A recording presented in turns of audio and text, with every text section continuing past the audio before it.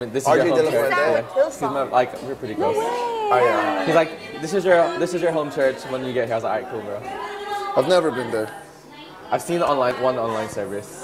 Oh no. I was kind. My parents were super religious growing up, Yeah. and I kind of just lost the fire. And there was a time I was so mad. You know what I mean? Like, I was like, just God isn't real. You know what I mean? I, We- I we- went, we've all gone through it. yeah, but like now, I'm starting to slowly come back. Yeah, and the cool thing is, like, that's your process, Yeah. and that doesn't change who God is or how He sees you. You Yeah, just gotta walk sure, through it yeah. the way you want to walk through it. At the end, you always end up back. Yeah, and know He's always there when you, whenever you're ready.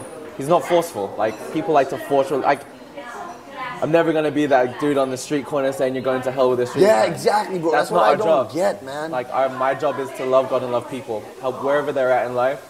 That- and that's the greatest That's it. God. Don't ju- I don't judge. I don't discriminate. and I feel like some of the most judgmental people I ever meet are in church. Yeah. And usually, people that don't like church, they don't like. It's not because they don't like God. It's They don't like the because- people in the church. I Yeah. don't.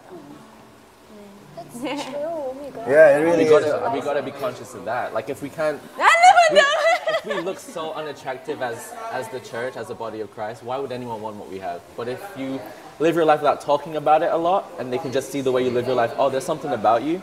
That's me. Like I'm not a preacher. The only message I preach is how I live my life, just how- my actions and how I am.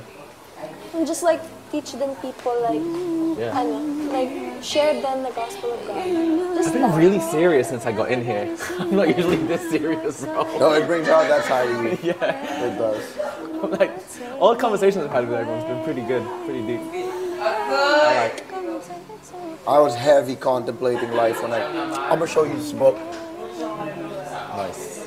It's really true that like people then in the church and judge you. It's the worst.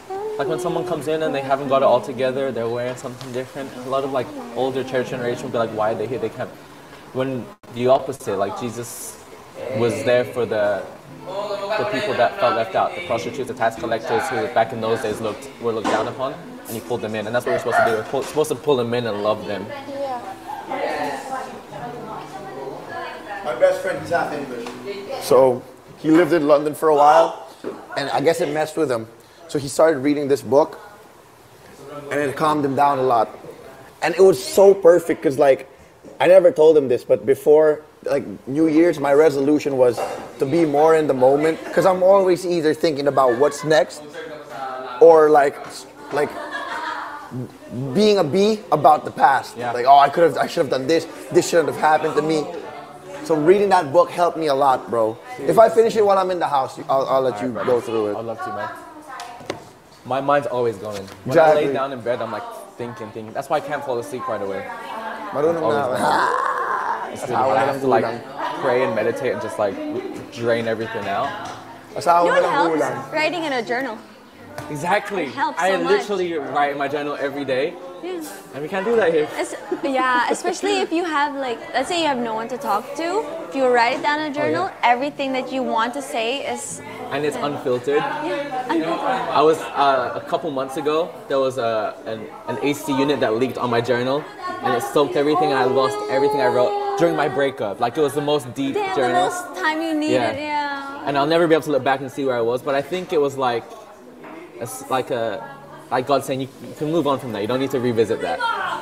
Like let it go. That's true, yeah. So I was like, all right, cool. Because at first I was, I was like, why am I crying about a journal? No, but like it's it- not I felt so dumb.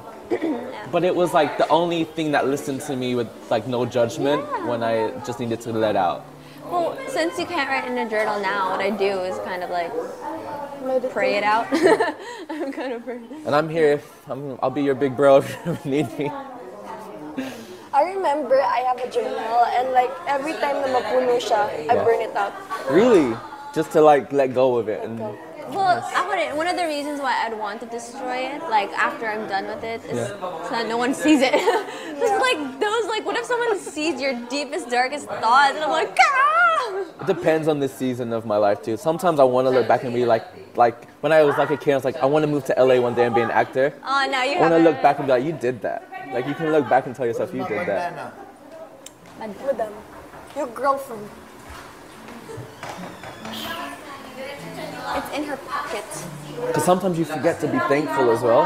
Like I would, I was in LA three years, and it, and then that was after three years. But I sat in a coffee shop. I looked around. I was like, dude, just I know you didn't get that audition, Kanina, but just be thankful you're here. You wanted to be in LA for so long, and now you're here. But you, for, like, you're so always thinking about the next thing. I forgot to be thankful. And I looked back, and I was like, dude, you hoped and prayed for this. Like, sit in that moment. Always be grateful for everything. Yeah. Everything. Parang may sayaw kayo. Albie, no bandanas in the confession room. Ganun ba yun? Rule yun. I mean, if Kuya will, like, I should take it off, take it off. yeah, if he says no, oh, What is it? why is he wearing pants? Ikaw na?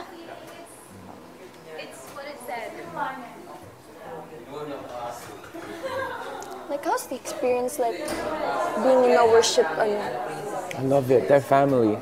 And it's not literally I not I don't try and sound bad, but it's not about me. You know? It's like an, I'm I'm worshiping for an audience of one. So if if I mess up, it's no, there's no judgment. Like singing in front of like for your career, you're constantly being judged, and I grew up like that. Fear of the judgment of people, because and it's not like a product I'm showing. It's me. So if you judge this, it's like deep for me.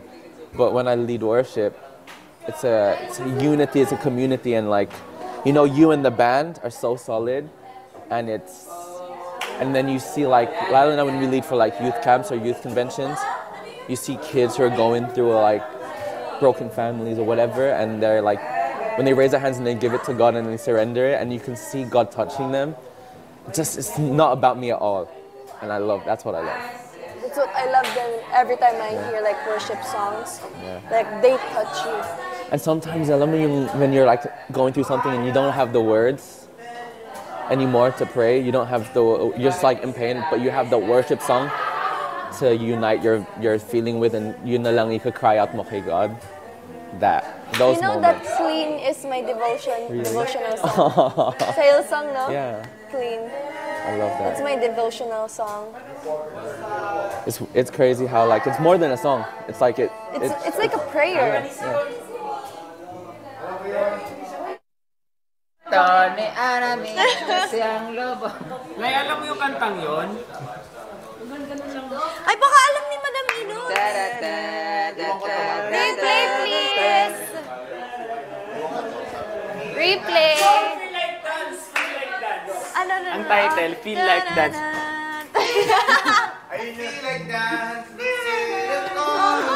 Laki ng lawa.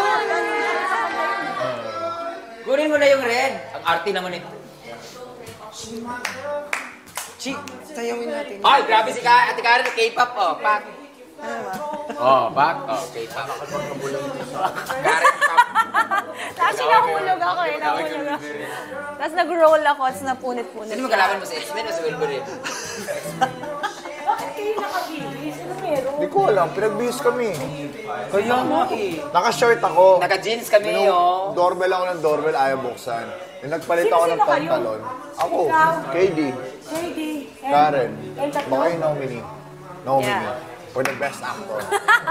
Or the Oscar. The Grammys. Kailan yun? Ngayon? Ngayon? Could be, Ano ba possibly. sinabi? Parang mag-ayos ang gamit, di ba? Ha? Feeling ko. Kasi mag-ayos lang nabasa ko eh.